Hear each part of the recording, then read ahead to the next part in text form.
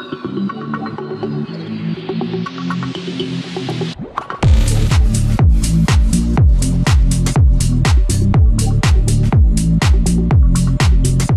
again, this is Robert Veach, and this is going to be my follow-up of the Tramontina brand, their Pro 3004, their 12-inch pan, non-stick. Now, I've had this pan for 19 months, and I've been using all these other commercial pans that are sold.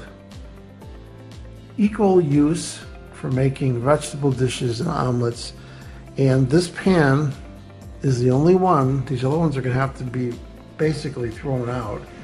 This is the only one that is still non-stick. I'm really impressed with it after that much time. You can see how much I've been using it.